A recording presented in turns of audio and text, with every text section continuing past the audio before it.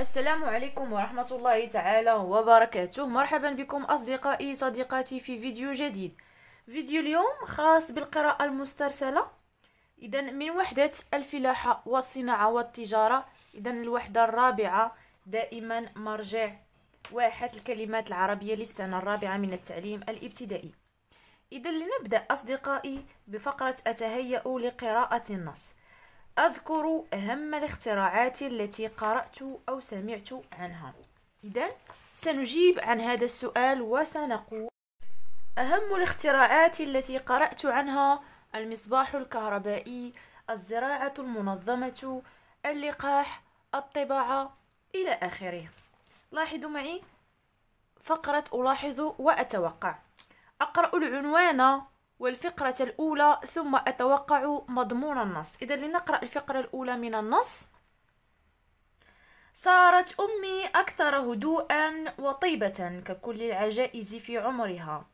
وهذا لم يشعرني بالحزن فكل إنسان يتقدم في العمر مع مرور الزمن. وأنا سأصبح بعد سنوات عجوزا. ولكن أمي لم تعد قادرة على القيام بأعباء المنزل كما في السابق. وباتت تشعر بالتعب عند بذل أي مجهود. وقد نصحها الطبيب بالاستراحة قدر المستطاع والبقاء في السرير لوقت متأخر. إذا عندما نقوم بربط يعني مضمون هذه الفقرة الفقرة الأولى التي تتحدث عن يعني آه عدم آه قدرة والدة السارد على القيام بأعباء المنزل نظرا لتقدمها في العمر وعنوان النص الحاجة أم الاختراع. يمكن أن نقول إذا من خلال العنوان وقراءة الفقرة الأولى من النص أتوقع أن يتحدث النص عن الاختراعات وكيف اهتدى إليها. إذا السارد دائما نحن نتحدث عن السارد وعلاقته بالاختراعات. إذا نمر الآن إلى قراءة الجزء الأول. إذا آه، بالنسبة لهذا الفيديو إذا سنقوم بدراسة الجزء الأول. وفي آه، فيديوهات قادمة إن شاء الله تعالى سنتطرق لجميع الأجزاء الجزء الثاني والثالث والرابع دائما على نفس القناة. إذا سنقرأ الجزء الأول وسنجيب عنه إذا في آخر الفيديو. الحاجة أم الاختراع. صارت أمي أكثر هدوءا وطيبة ككل العجائز في عمرها وهذا لم يشعرني بالحزن. فكل إنسان يتقدم في العمر مع مرور الزمن وأنا سأصبح بعد سنوات عجوزا.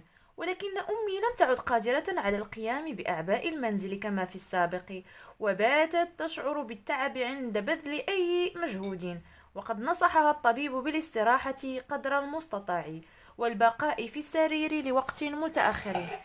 أنا الابن الوحيد المقيم في المنزل وكان لابد لي من المساعدة في غسل الصحون ونشر الغسيل وتقطيع الخضر والقيام بأعمال أخرى أيضا. وهذا لم يكن يزعجني رغم أنه ليس من العادة. إذا هذا هو الجزء الأول. لاحظوا معي أصدقائي سنمر للإجابة عن أسئلة الجزء الأول. إذا بعد القراءة إذا سنجيب عما يلي. ما الذي حدث لأم السارد؟ بما نصحها الطبيب وكيف تصرف ابنها؟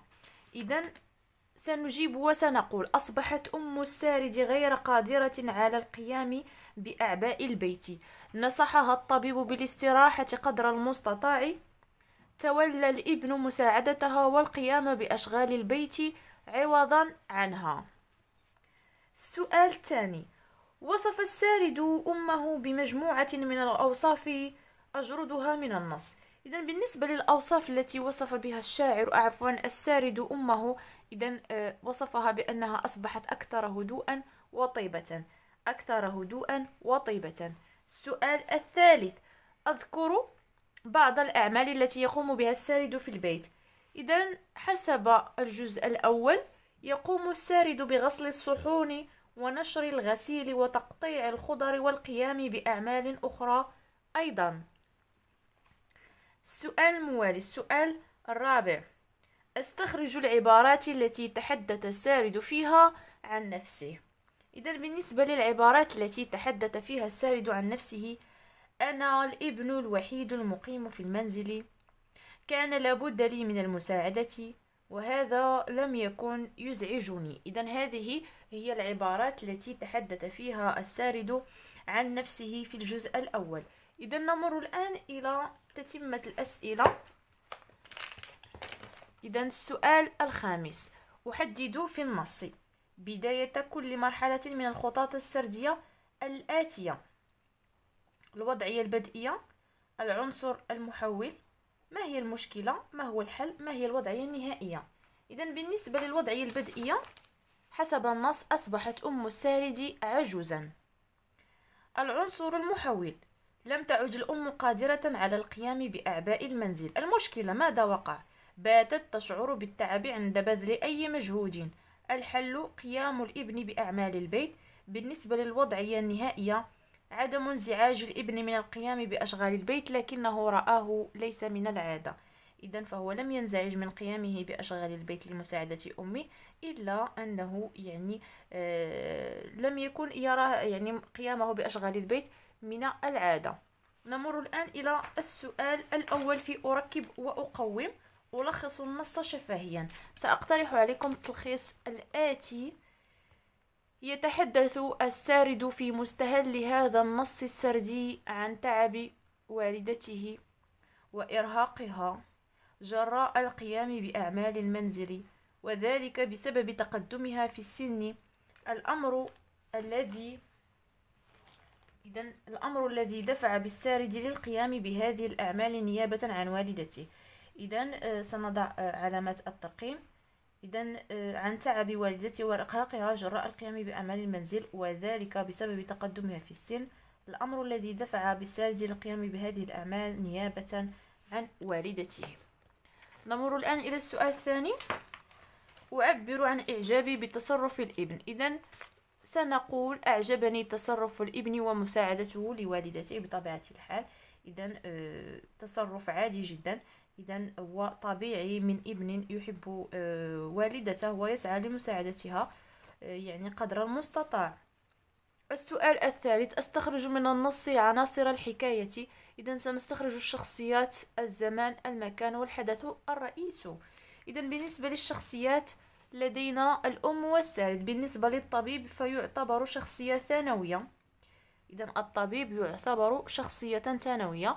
بالنسبة للزمان هو غير محدد. المكان منزل السارد. بطبيعة الحال الحدث الرئيس هو قيام الإبن بأشغال البيت لمساعدة والدته العجوز. إذا هذا هو الحدث الرئيس. إذا أصدقائي صديقاتي إلى هنا ينتهي هذا الفيديو. أتمنى لكم متابعة طيبة.